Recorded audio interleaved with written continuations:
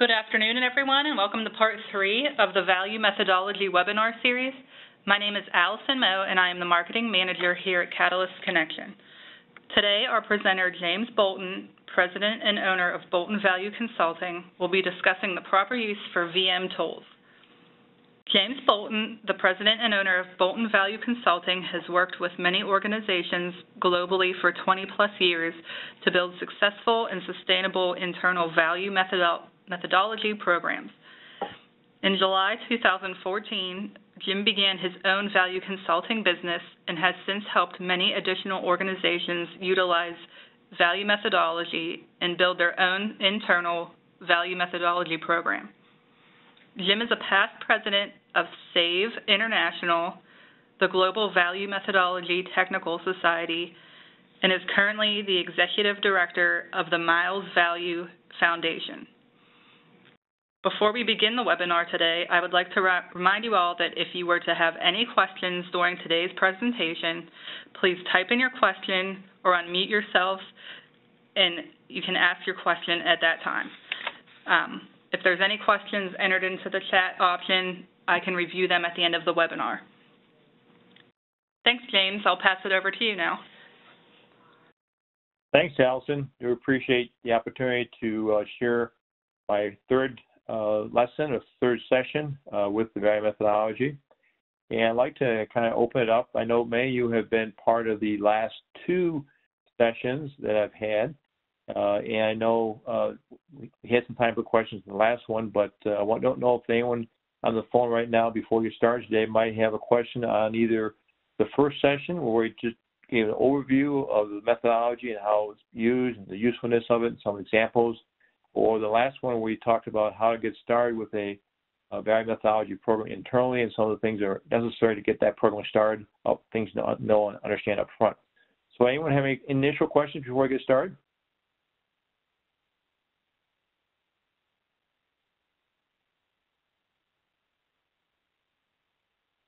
Okay, hearing none, let's get started with our third session here. Uh, this this is going to focus today on really how to how these various tools are used, and I'm really kind of specifically talking today about the tools used in the value methodology, how, how the value methodology tools used in an actual workshop to help support this process and make this process different than any other process that you might be exposed to, any other type of value improvement process. Okay, so we're going to start with our, our first slide here, and um, this talks about the use of the value methodology tools, which we want to focus on today.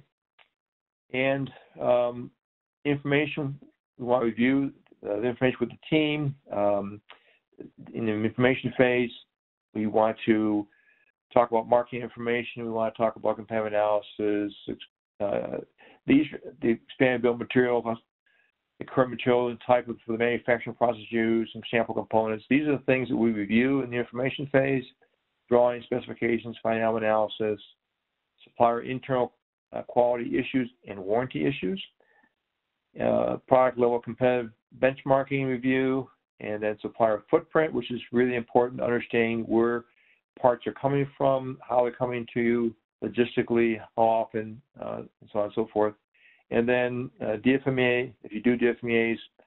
Uh, so those those are the things that that really are tools that we use specifically in the value methodology. Some of them use in other things, but some of the tools I use here are really help you to look at the overall total process of what you're doing, um, not just um, understanding your process from a competitive point of view, from the voice of the customer, from a, from a what you what you're currently doing today, um, and understanding your suppliers and what they're doing and what parts are coming from, uh, your um, quality, not only quality internally at your organization, but supplier quality, and also warranty quality, uh, and then also looking at uh, you know things we want to make sure we, that we go back and verify with your uh, DFMEA or the PFMEA.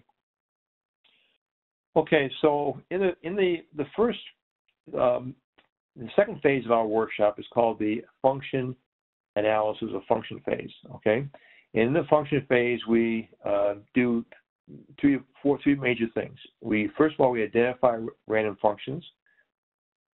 And this is just an example of a chart where we identify random functions for a particular uh, component.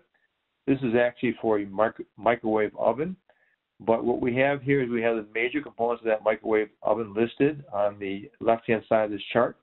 The magnetron, the uh, high voltage transformer, the heating element, the structural components, the cooling fan, motor, and so on and so forth. For each of those components, we'll list what the overall uh, cost is for those components. And then what we'll do is for each, uh, well, for the overall system, which is the combination microwave oven. By the way, this is a combination microwave oven. So not only is a microwave, it's a convection oven and also has a broiler oven in it. Very common in uh, Europe. Not it's not as common in, here in the U.S. More common in Europe because the kitchens are so so so small. They don't usually have room for toaster ovens and microwaves and full ranges in the same kitchen. So uh, this product uh, is very popular in Europe because it combines the functions of a microwave oven, of a convection oven, and a broiler oven, or toaster broiler, as we call it here in the States. So ba basically, the overall uh, function for that device, for the, this combination oven, is to heat either food or beverage. You want to heat it uh, to, a certain temperature. Um, and then we have major components, you know, the magnetron. What does the magnetron do? Well, it has to generate the microwaves. It has to convert energy from electrical energy to microwave energy. It has to connect circuit. It has a electronics. It has to be connected. All right. What does the high voltage transformer have to do? Well, it has to also convert energy and connect circuit. What does the heat element has to do? Well, it has to generate radiation and connect circuit. So each one of these components then will be a, a will have verbs and nouns, an active verb, measurable noun, uh, very generic verb noun combinations. There's no nothing in here that's going to be specific, like a motor or a. Uh, uh, you're not going to say, you know, need mic, mic, magnetron. What does the magnetron do? Okay, the magnetron has to generate microwaves, it has to generate energy. So basically, generic verbs and nouns of, of what that component has to do. A wiring harness connects circuit has to ensure ensure safety. Um, that clock has to display time, has to to register the warranty, um, the enhanced appearance. So these are various things that uh, these individual components might have to do.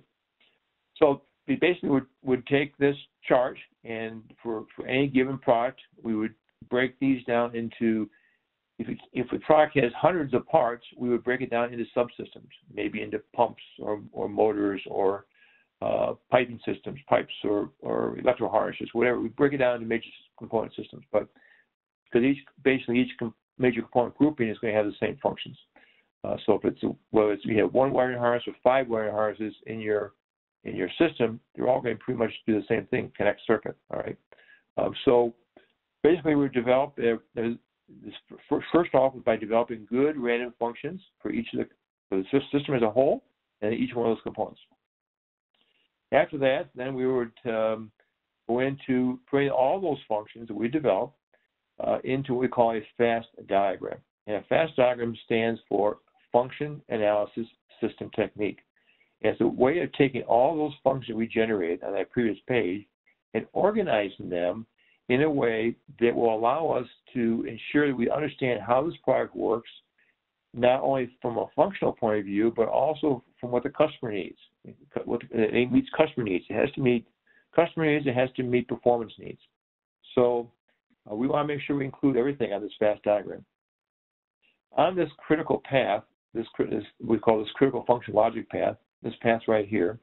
That basically is the path that has to make logical sense. That's why I call it a logic path, going from left to right and right back to left.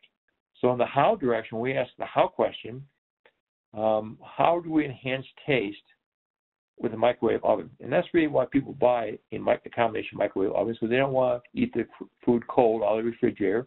They want to heat it up. Okay, so the, the how do we heat? The, how do we do that? How do we enhance the taste? By heating the food or by heating the beverage, and that's the basic function of what the microwave combination microwave oven or broiler oven has to do. It has to heat the food or beverage. The way a microwave oven, a combination microwave uh, broiler um, convection oven does that is three different ways. First of all, it can connect generate convection, and generate convection is the connect is the convection portion of the of the of the machine. Okay, it can activate molecules, that's the microwave portion, or can generate radiation, and that's the broiler oven portion. Okay, so actually there are three different ways that that this combination uh, microwave convection broiler oven has to heat the food. It can generate convection, it can activate molecules, or it can generate radiation. We're going to keep asking the how question as we go from the left to right, and then the why question going the other direction. But let's finish with the how direction first. So how do we generate convection? By circulating air. How we generate molecules? By generating microwaves. And how do we generate radiation? That one really goes right up to convert energy. And these other two also go to convert energy. Okay, how do we um, circulate air by converting energy, and how we generate microwaves by converting energy. So all three of these go into conversion of energy. We're converting electrical energy into heat energy or radiation energy or uh, movement of air and heat and heat. So basically all three of those go back into convert energy. Okay. And then how do we convert energy? Well, we need, we need to connect circuit. Okay, we got to connect the electrical circuit. Uh, how we connect the circuit? in a microwave, combination microwave, there are two ways to connect a circuit. You first of all you have to select the cycle, whether you want to be in the broiler operation or the microwave operation or the convection oven operation. So the selector switch to select which way you want, which which function you want at that point, particular point in time. Uh, there's also um, a way you can you have to be able to receive power. If this device does not receive power, then you don't none of this happens. You have to this device has to receive power. So there's actually two ways that circuit's connected. It's connected manually by someone physically selecting a cycle. And how does someone do that? Well, you have to apply force. You got to turn a knob, push a button. So that's outside the scope of our project. The scope of our project is between these scope lines, between the left scope line and the right scope line. That's that's the project we're actually studying. And so we apply force. That's what we as a person have to do and why we apply force to turn knob, push a button, so we can select the cycle. Apply force is outside the scope. It's not something we have to do. It. It's not the responsibility of the microwave to do that. We receive power. Receive power. How we receive power? By delivering power. Again, the microwave doesn't deliver power, but the power company delivers the power. They deliver power to our house, to our uh, uh, business, wherever wherever we are, they use the microwave. It's the power company's job to deliver the power. What we do then is why we why they deliver power so we can receive that power. Okay, why we why they deliver it so we can receive it and use it. So again, that's out deliver power is also outside the scope of our project because that's not something that the microwave does. It actually is something that we need. And it's an input. That's why I call it low order function. But the microwave does not really deliver power, nor does we apply force. So let's ask the why question going the opposite direction now. So why do I deliver power? Why do I why does the power company deliver power so we can receive that power? Why do we apply force so we can select which mode, which cycle we want to be in for this device? Want to be in the broiler oven mode or the convection oven mode or the microwave oven mode. Why do you both of those things so we connect the circuit? Why do you want to connect the circuit so we can convert the energy? why we want to convert the energy so we can circulate the air and generate microwaves and also generate radiation. Why we want to convert, connect, circulate air so we can generate convection. And why we want to generate microwaves so we can activate the molecules. Why we want to generate convection. Why we want to activate molecules. Why we want to generate radiation so we can basically heat our food or beverage. And then again, why we want to do that? To enhance our taste. So basically, this logic path, referred to as a critical function logic path, all uses functions. It has to make logical sense going left to right and right back to left. Also, you see here that we have some project objectives, things that the, this device has to do uh, that maybe don't belong on the critical path, but are, are important. Okay, they're important functions, some one-time functions, and some all-the-time functions. Project objectives might be things like illuminate the interior. Would the product work without the interior being illuminated? Sure, it would work without the without the inside being illuminated. But there are some customers that would not buy a microwave unless you could have a light on the inside And that's what's illuminated when you open the door, or or if you turn the light on even when the door is closed. So people, that's a project objectives. That it's a cost adder basically. Most of these project objectives are cost adders. Um, resistant environment. we make a product that resistant environment? Sure, but customers wouldn't be happy if the thing rusted out, uh, or corroded in a few years. So they so resistant environment is something we have to do. We have to plate or coat all the materials to make sure that it does that it does resist environment. Maintain integrity structurally. We have to make sure the product is strong enough. So the first people slam the door, it doesn't break the glass, it doesn't damage the machine. So obviously those are things that maintain integrity is important for longevity. Ensure safety, absolutely very, very important. Make sure we have a good door seals and good door locks so the door stays closed and seals the microwaves inside the oven so they don't get outside the oven when we're during use. Enhance the content. Obviously, we can't even get into the microwave unless it has a door, so we have to go and access the content inside. So one-time functions protect the product. You only do that one time. Basically, we do it from the time that that product leaves your factory or my factory into your for customer's home. We put in a box. We put in some uh, cardboard, some foam, whatever to protect it during transit. But once the customer gets that, most times they throw the box away. They don't use the box. That might get uh, uh, used for for campfire to burn burn up something, but uh, basically people don't use the box. So it's a one-time function. You use one time, but it's a very important function because if you don't have the box, the likelihood of getting it to the customer without damage is very very small. Small. And you have to register the warranty. You only do that one time for one-time register the warranty. So we call those one-time functions. All-the-time functions are things that a customer is willing to pay for, and they're really customer-driven things that the customer needs, and, and, he, and he tells you he needs them. He wants to buy a microwave that enhances the appearance of his kitchen. He won't buy an ugly-looking microwave. Believe me, the, the microwave's uh, aesthetics is very important. So enhance aesthetics, enhance appearance is important. Display time. Most people buy microwaves today they use as a multi-purpose device. They want they want to be able to tell time in their kitchen with me without having a separate kitchen clock. So the microwave, the clock on the microwave is very important to them. So they, but they want to pay extra money for that microwave to have that clock on there. They're willing to pay money for to ensure reliability. Reliability is important to them. So, and then inform the customer how to use the microwave. Obviously, an instruction manual, uh, service repair manual, those things are important so that people know how to service the product and how to uh, uh, use the product. So these are the things the customer is willing to pay for, and he's and, and, and they give him value that he has value because of those things. So they're they're basically called all the time functions. So that's uh, the basic development of a fast diagram. You see in this fast diagram we have three different ways here, and these are called OR gates. Those are three different individual ways you can get from this function. Whoops, I go back here.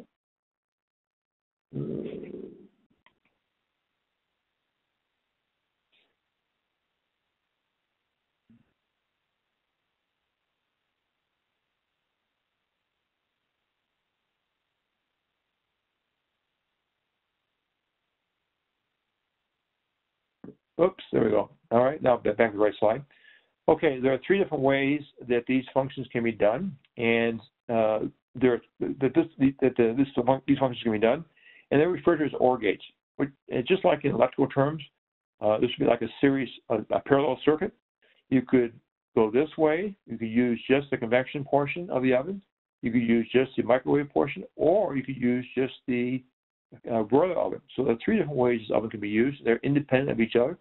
So if the circuit was broken here or broken down here, you could still use the microwave portion. Or if it was broken here or here, you could still use the convection portion. So basically, they refer to as OR gates.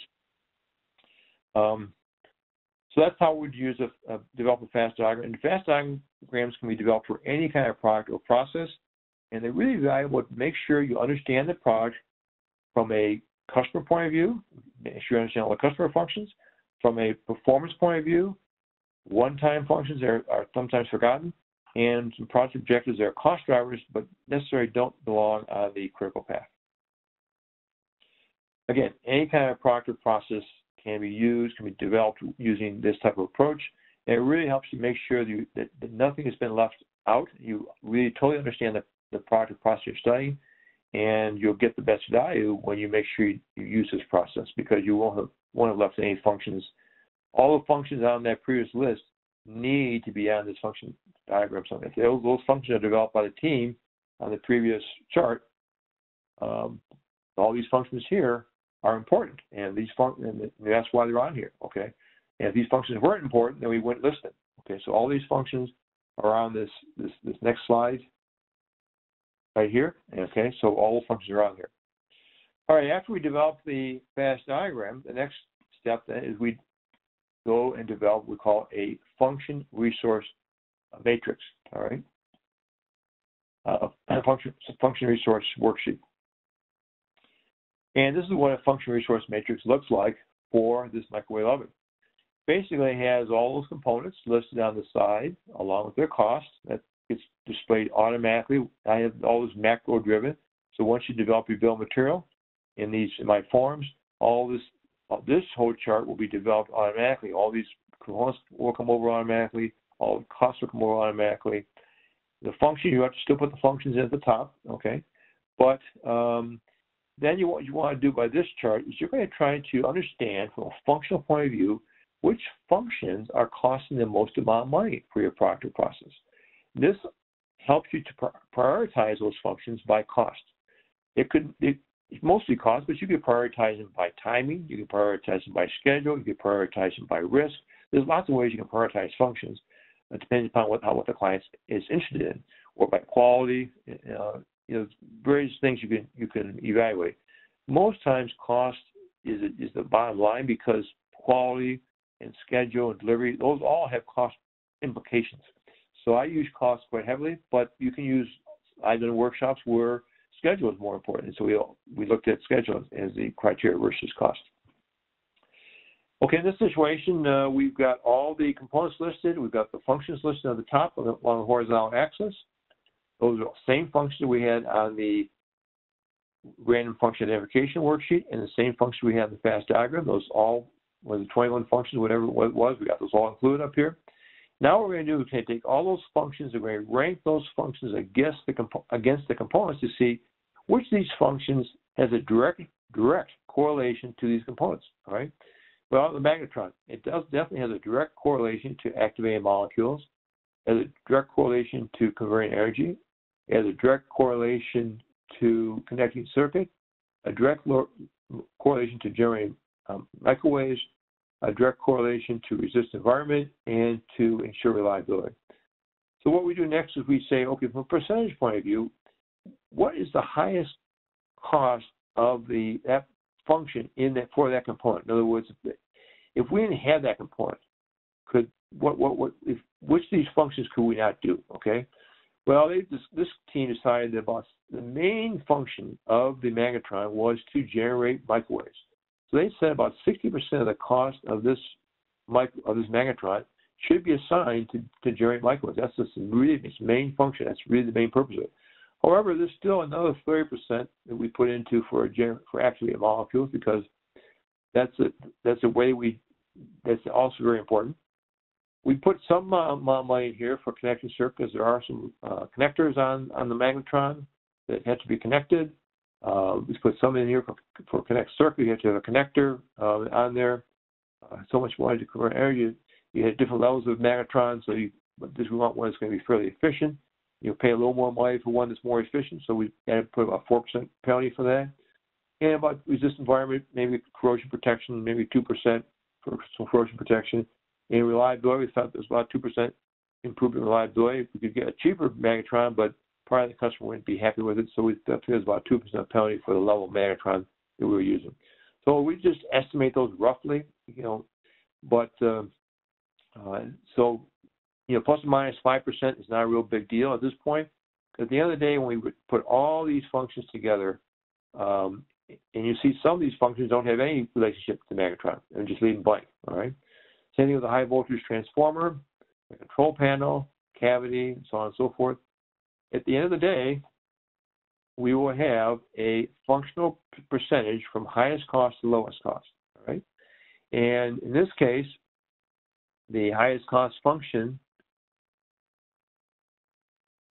was to connect, to convert energy. Uh, tw about 20% of the total cost of this micro microwave was to convert energy. All right.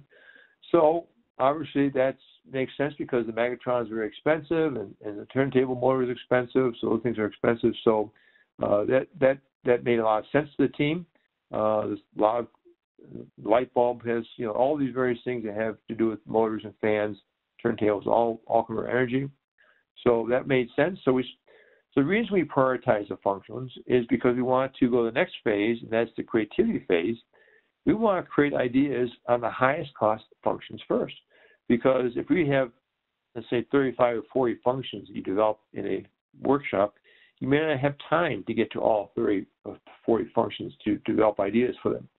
Uh, and some of these functions are worth very little money, register the warranty, 0.005%, okay, very small. We're not going to probably spend a lot of money on how to register the warranty differently, okay? We may come up with some ideas, but that's not going to be a big focus for us because it's, it's a, very small percentage of the total cost. Only 2% of the total cost is to register the warranty. We want to get to the, the big ticket items first, the ones that cost the most amount of money from a functional point of view, not from a from a cost of the components, but from a functional point of view, and um, understand what, what other ways we can perform those functions. Okay, so that's why we prioritize these functions to understand what is the highest cost function, second highest cost function, so on and so forth. Uh, then from here we go to the next part of the phase, function uh, ideas by brainstorm ideas by function. Well, before they do that, I'm going to get out of this and show you a real live example from a workshop we I did in um, Japan a couple years ago. Uh, this uh, was a control system for industrial uh, air conditioning system that is used in a large plant. And so we put down the, this is with a company called uh, JCI Hitachi. It's a joint venture between JCI and Hitachi. Um, they make uh, uh, these very large uh, industrial air conditioning systems uh, that hang from the ceilings of plants. Um, so this is uh, this is what they came up with for their various functions. For the overall, we had three different teams on this on this product. We had a controls team, we had a refrigeration team, and we had a structures team. So this is just a controls team. So the control system has to be able to control the unit. That's the overall part, uh, focus for the control system.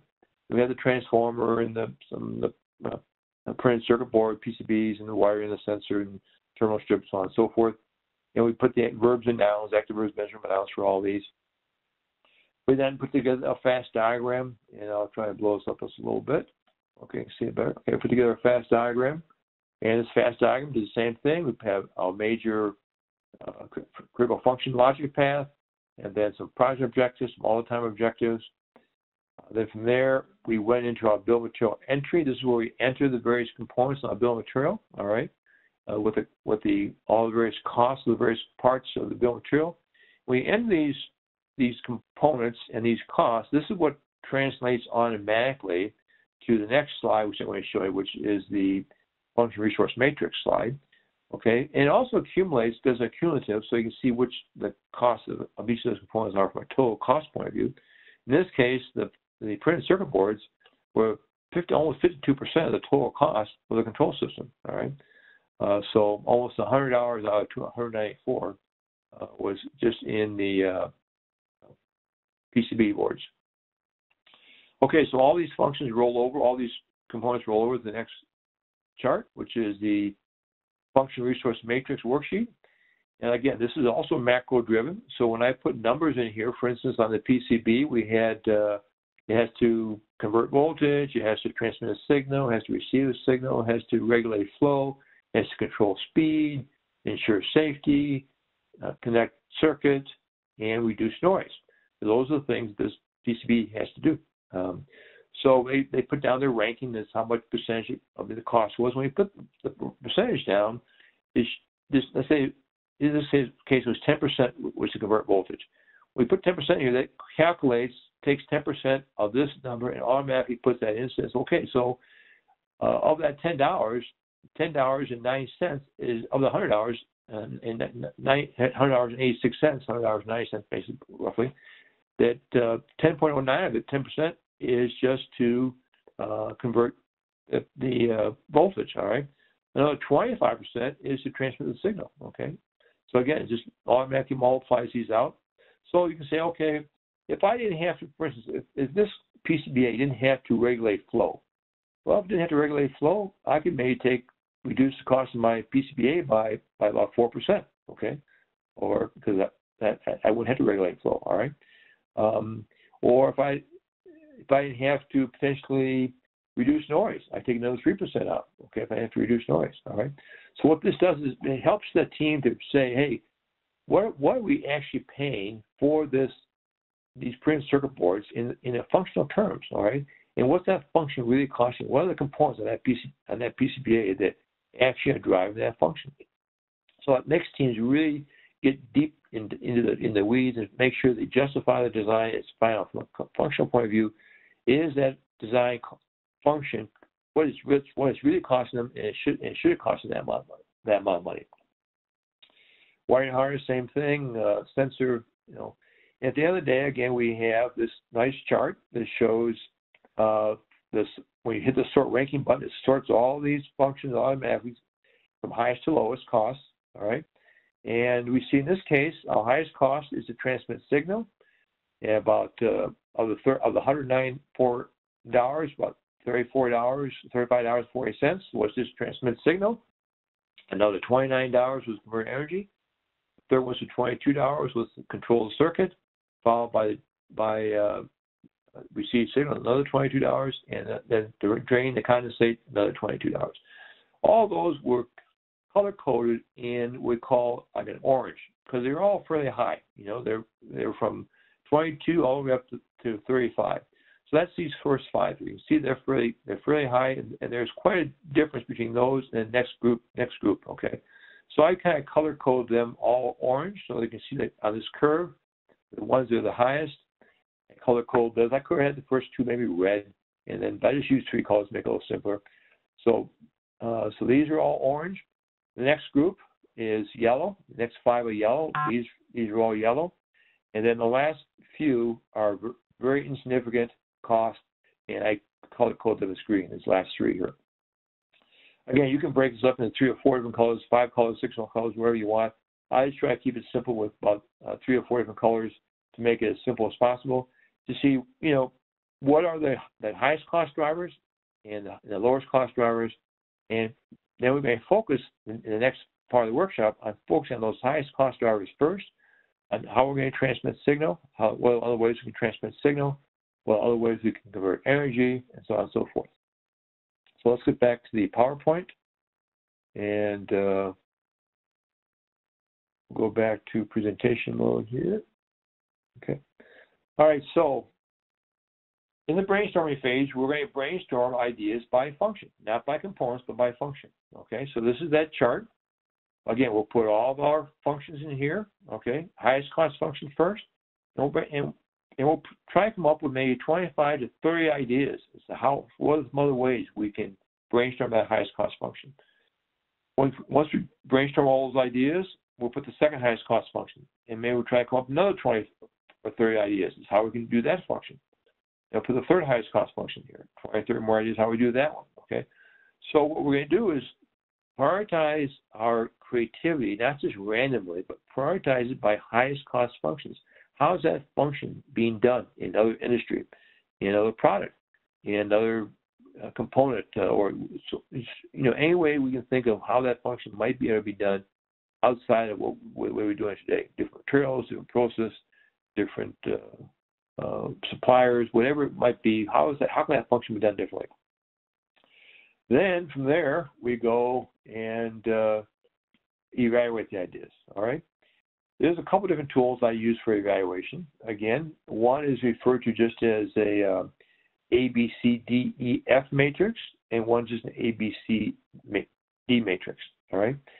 The A, B, C, D matrix is usually used up front in a workshop where the product is very early in the design development phase. It has not been, to, been fully designed. It's not been put in production yet. It uh, is, doesn't even have prototyping done. It's just a very early, even pre-concept or at least early concept. Not no no drawings have not been solidified at this point. Because then we'll just break it down into these four groupings. Is, is a new idea fairly easy to do from a technology point of view? Um, and can we do it the timing? Is it fairly easy to do? Uh, or is it more difficult to do versus A and B? That's your thinking easy difficulty. And then savings is it bigger savings or smaller savings? If it was easy to do but not as big of a savings, then we put down the C idea. If it's hard to do and not as big of a savings, we put down the D idea. An A idea would be an idea that has it's fairly easy to do and high, has high savings. And a B idea would be harder to do but still has high savings. All right. So we just put, and again, we the team would decide what the break point is between high and low from a savings point of view. At the end of the day, it does make a lot of difference because we combine A and C ideas together into the same project plan or business case. I call them business cases. But uh, uh, and then same thing with the B's and D's.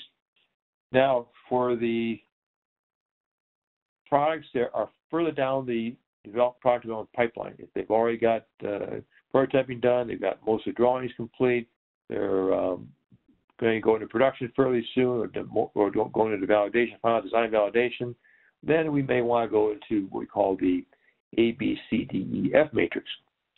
And this is works very similar to this one, except now we've got three major groupings here. We have what we call a running change, a digit change, or a mile change. A running change, what I mean by running change, I mean an idea that we can move forward with without customer notification. We've got control over the design, we've got control over what, what we're doing. Maybe it's a supplier change, but as long as we validate the supplier, it'll be the same product, same component. I mean, we don't we have to validate the supplier with the with the, with the uh, client, our final client. As long as we do it internally, we're, we're acceptable to them. So it may be a running change, a change we can make without notifying our customer. Is not it's, it's backward compatible, no problem with with uh, backward compatibility in the field. And then that would be, again, A idea would be high savings, D is lower, lower savings. Uh, B's and E's are things that we do need to go to the customer with the notification. We need a change, a digit change in the drawing. And maybe it goes from an A to a B, a C to a D, or whatever. We need some kind of a drawing control on it. It means that we need to make some kind of a modification to the drawing that will require uh, maybe the parts service community be notified, or the parks community, uh, people out in the field, uh, so maybe even the uh, potentially uh, distribution network. So that would be a digit change. Again, doesn't mean we can't do it, but we may need some customer notification to do those. We may need to go back and change uh, service manuals. So that would be a BOE change. A CNF change is basically a change of, hey, we, this is a great idea, but there's just too much inertia to do this right now. We've got too much tooling invested. We've got too much money. We can't we can't make the payback won't pay for the tooling change. So we want, we want like the idea. I think it's a great idea. But next time we come out with a new model with new tooling, then that's when we'll about the idea. So they're put into a, a, a future hopper for future uh, planning, for future parts. And when that new model does come out, then we'll pull out those ideas and make sure we kind of do it, try to do it right from the beginning. So those are the C and F ideas. So those ideas then would be put in this column here, it says rank. Okay. Oops rank here. Uh, we put in this column, all right. And then uh, once we get all the ideas together, we will sort by uh, A's and D's. So we have all the A's and D's together because I don't care if it's an A idea or a D idea. If it can be done the same in the same time frame, basically with the same writing same the running change, um, we'll try to put them together with and with with time. There's another column here that says uh, uh, timing or type that basically would be, can we, is a three months, can we do these ideas in three months, in six months, nine months, 12 months? How, how, we start today, how long would it take us to implement these ideas in production? Uh, it's very, a very simple change. We do it maybe two or three months. Is it a more complicated change? We've got to change some tooling. Maybe it's going to take six months. Maybe it's even more complicated. We've got to get some validation testing from the customer. It might be nine months or maybe even a year, okay, 12 months. So We'll put these together in groupings by timing and by, by, by A's, B's, D's, by A's and D's, B's and E's, C's and F's, and then by timing. And then we'll go and that's what we call prioritizing ideas. And then we'll go to our next phase, which is the development of business cases. Okay. So in this previous chart, we also had a place. Let me just back up here. In this previous chart, go back back a slide.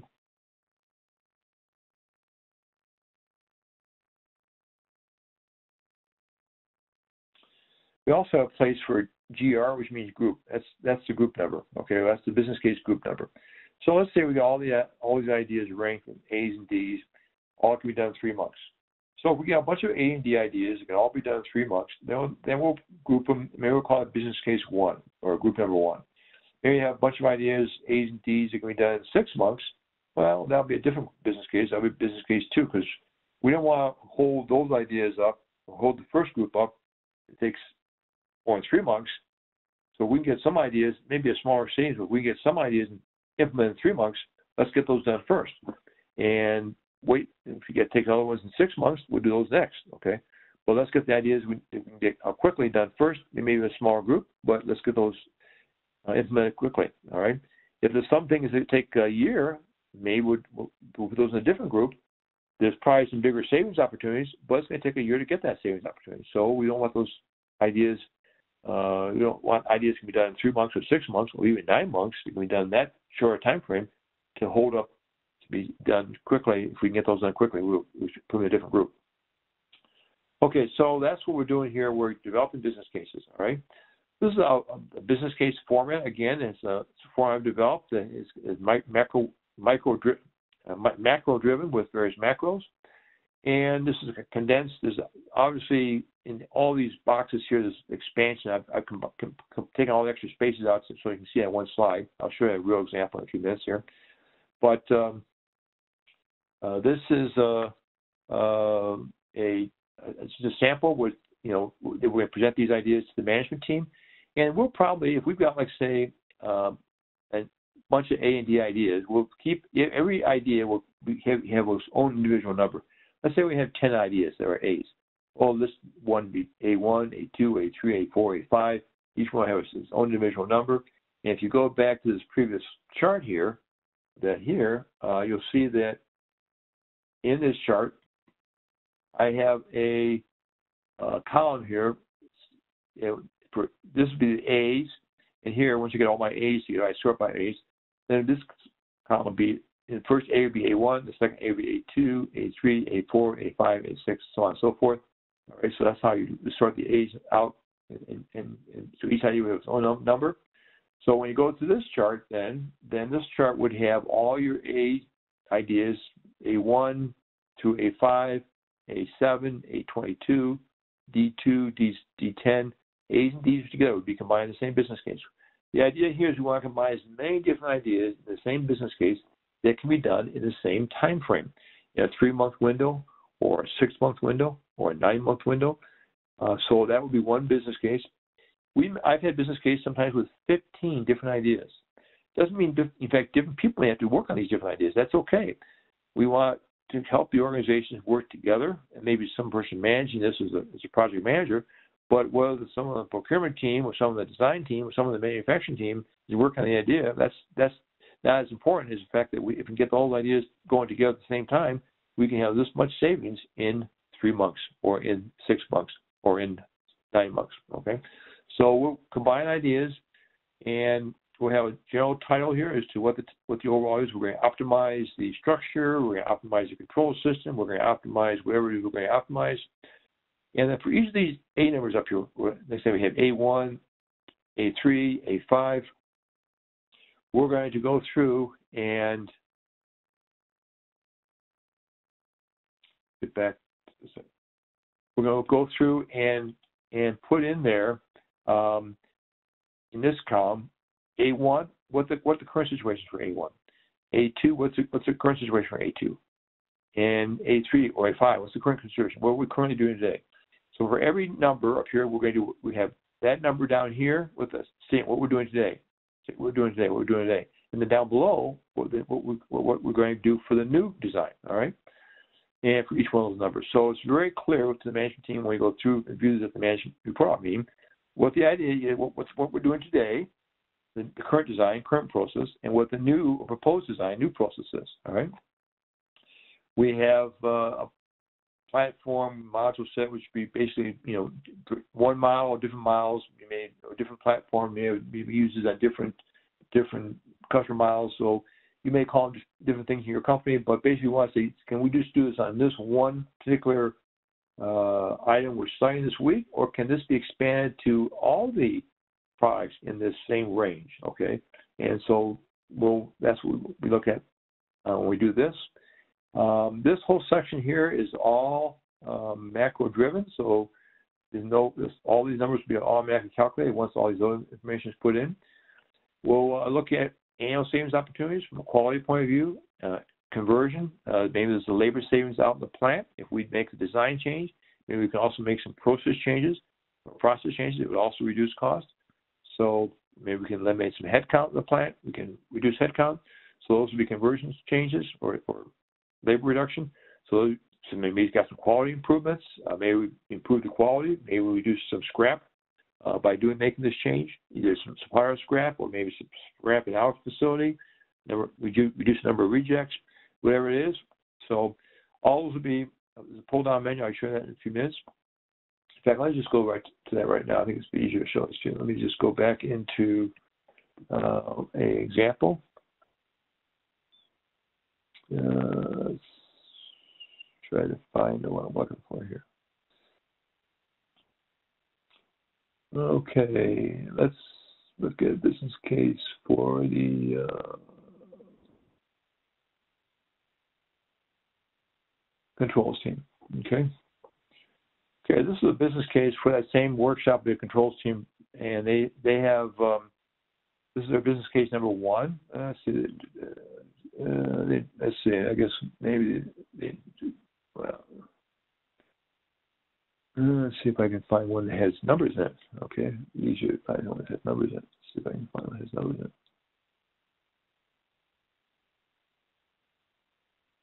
Oh.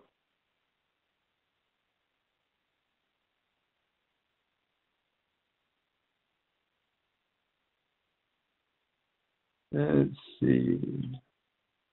Okay, number one. Okay. why is that showing up? Okay. All right, let's try and find another one.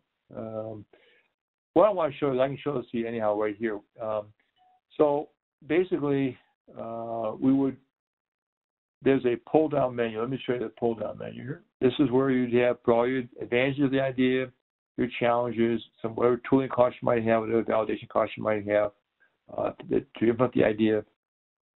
There's a pull down menu here that has for quality improvement, or a conversion improvement, or we have to notify marketing. So we could just click on that, and, and that will click on whichever one it was. Let's say conversion improvement, and pulls up conversion. And we write down exactly what would happen, what the conversion is. We have a place for assumptions. We have a place for uh, all your material savings from from a uh, bill material point of view, where what the current cost is today, uh, the part number is the current cost of that part number, how many do you use per product uh, for the baseline, and then what the new is, we're going to the new part number, a new cost, uh, a new quantity. Maybe we're going using the same part, but we're going from maybe from eight screws here to, per product down to five screws per product. Okay, so maybe the same part number, but the cost is the same, but the the actual quantity will go down with the annual volume here, and then all these numbers will calculate then what the volume is, what the actual savings, annual savings, because again, it's all macro driven. And what the part is, we have part number here, put the part description. It's going to be a magnetron, it's going to be a condenser, compressor, whatever you, part you're going to look at. That would be the part. Okay, so that's how we use the the, uh, the this business case format. Um, at, at, the bottom here, you also have a spot for actions. Uh, what are the actions you got to do to to, uh, to make get this project move forward? Who's responsible for those, those actions, and how many weeks would it take to do those actions? So it's really kind of a project plan. It's not just a bunch of ideas. It's the ideas how we're going to implement them, who's going to be responsible, how long will it take, what will be the costs involved. And so we review these with the management team at the end. We also put together a status, risk status. from a technical point of view, from a timing point of view and from a cost point of view. And it has a pull down menu, know, red, yellow, green, and it has a, a code here telling you if you have supplier quotes, it would be green. If it's just an engineering estimate, it'd be yellow. If there's no support for numbers, it'd be red. And then take all these three numbers together and, and calculate an overall percentage of confidence the team is today when they come up with the idea. We're 80% confident that we can get these ideas moved forward. 60% confident, whatever the confidence level is, you put that here. Okay, so that would tell us, that would give us the opportunity and space to do this, and uh, I will go through this in more detail during a workshop. I want to be sure, show that to you. So, um, so long-term effectiveness. Multiple options are available and need to be tailored to your individual organization. Okay, I'll discuss two that I've used, the pros and cons, um, the reporting structure of these. In addition, I will discuss other options I've also seen that work very well. And some important things to remember is that is that your organization needs to do what's best for your for for your organization. All right. All right. So my first exposure to uh, doing this was with uh, a company called TRW Automotive. It's now ZF. Uh, I started in January 1997 with that organization. Um, after having great success in the seatbelt division with that company, they went globally, went globally uh, with all the divisions um, with that process. We developed a global value engineering organization, um, and that team is, was with global directors for all three of the major business units. Uh, restraints, which include airbags and seatbelts, braking systems, steering and suspension systems, and then we had three smaller divisions. They had senior managers for those three smaller divisions. They were also responsible. So we had a couple uh, parts of the organization that worked really well, uh, and in fact, this is the overall organization chart. When I left the organization, there were 78 people working full time in the organization. Uh, I was their staff specialist that was training people and leading the process in, in, the organization. I worked for the global VP of engineering. Uh, I'm sorry, I worked for the global VP of, of, of uh, engineering, who worked for, directly for the global VP of engineering. So I worked just really two under the, the global VP of engineering for the organization. Uh, but we had North America, European divisions for restraints, for braking systems, for steering systems, and again, the senior managers for the, the smaller business units. What we did at TRW was we each we I trained the VE specialists as uh, AVSs or CVSs, um, and they took the pro projects from cradle to grave. Those all projects were were they had total responsibility for all projects. Um, they were responsible for the each one had annual metrics they were responsible for, and uh, they were the, the company covered, covered all the certification costs, and they wrote technical papers. They, the company was really very supportive of the process, and then became a, a corporate member of SAVE International. Um, that I, I, was with them for 11 years, and uh, we took a retire, early retirement with them to join Whirlpool Corporation. They offered me a, a pretty good option to to leave uh, TRW, so I took an early retirement with them and joined Whirlpool in 2008. They had a little different philosophy. Um, they called their department Design for Value. Um, I basically established that department when I got there. Um, they had they used uh, globally regional development managers in each region. Uh, Whirlpool had a good execution team. They knew how to execute ideas. They didn't have good ideas to execute. Um, whereas TRW didn't even have um, ideas uh, or how to or how to execute. They didn't have an execution team, so that's why the guys in at World at TRW took the jobs from cradle to grave. They actually went through and helped to execute the ideas.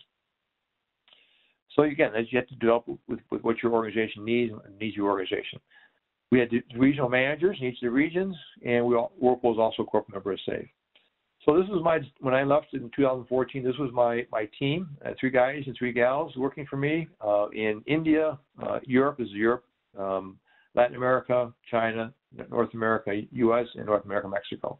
And these are the products they have responsibility for in each of, the, of their regions. They have responsibility for all the plants and all the products in their regions. So they were they were leading the process, but they were not executing the ideas.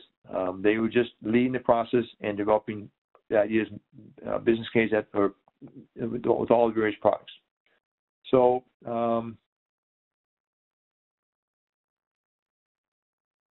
The advantage, uh, again, they, they became C- AVS and CVSs through my mentorship. Um, they, we tracked the ideas, uh, helped me remove roadblocks, make sure we had in, timely implementation, implementation of the ideas, and ideas with percentage of savings, certification covered by the company. Differences when, uh, for pros and cons of the TRW system. Each member, each team member was responsible for the ideas, uh, focused on execution and implementation. Uh, there was metric. It was everybody's metric in the company. It, it loses emphasis on hot jobs that come along. Each team member had roughly a $2 million annual goal. It was their responsibility to save $2 million for their particular metric for the year. A Whirlpool uh, decided they wanted to do more workshops. They, they, they, knew they had an execution team, but they needed good ideas. So we, we had senior managers that were responsible for working with, and they were able to carry out a lot more workshops and cover a lot more different products by doing this. Okay, and so and each of them were had an average of about six million dollars. They're still responsible for annual savings, but basically the savings was a result of what the the ideas that they generated. Um, again, uh, the pros and cons of the, for the automotive, automotive system was each team was responsible for it. They were more focused on exercise and implementation. Uh, Zim says on hot jobs, so I just went through all this. Hang on a second. Uh, okay. All right. So making it sustainable. Top management commitment is a must. Okay. If you're going to succeed with this process in your company, top management commitment is a must. Um, depends on all departments have to be fully engaged and on board or, or it will fail because all departments are involved in your workshop from procurement to quality to marketing. And if you don't have all departments engaged, you're not going to be successful. The VM process must be cross-functional to be sustainable. Uh, proper attention must be given to train and certification. Proper, proper recognition must be given along the way to have success. Uh, choosing the right VM leaders are critical to your organization. Gain people who really uh, can lead the process. Some, some of us are respected within the organization today. Someone has the right skill sets, understanding product and process knowledge, uh, has accomplished, has been potential for leadership, uh, a team player works well independently as well as uh, works well independently, and the right professional with a proven track record. So that's basically what I want to present today. Uh, I think that uh, uh, I could go a lot further with a lot more details, but these are the kinds of things that I have to offer that I've done in the past. I, I do a 40-hour workshop. Um, actually, right now, it's the new workshop is only 32 hours. I got to get this updated. But there's a I do a, certification workshop to help you be, become uh, value methodology associates. Uh, I prepare them for the examination. I think having a certified program within your company helps to reinforce it. It gives it everyone that little extra edge. The uh, the VMA program or the CVS program is the certification program is an internationally recognized program. It's like getting a, uh, PE license or a uh, CPA license. It's it's a, that's an extra extra credential you have that, that gives you that little edge in the marketplace. And it says that I, I, it doesn't come easy. There's some work you have to do, but it's worth it, I think. And both TRW and Whirlpool felt it was very very valuable to have the people certified, and I was able to get many people certified in that process uh, through the organization, and they became the experts for the process with their companies. I also do uh, have a, a, a, secondary workshop, a 24-hour workshop, um, module two workshop. Uh, I can do non-certification workshops as well, where I come into your company for three or four days and work with your your, your cross-functional team. I hold pre-workshop meetings ahead of time to make sure we're well organized. I can, I work with do do enhancing tools workshops. I can do workshops on, on design for manufacturing, design for assembly, DFMA. Uh, I can do workshops with TRIZ, uh, uh, theory of inventive problem solving. Uh, so in lean, I do have big experience with lean as well. So I can, I really combine all those and I do the engineering methodology. So these are the tool sets that I have to work with, and uh, I'd love to be able to work with the organization. So if there's any questions, I'll take any questions at this point um, at the end of my time, and I think hopefully it was helpful for you to see the tools in a little more detail.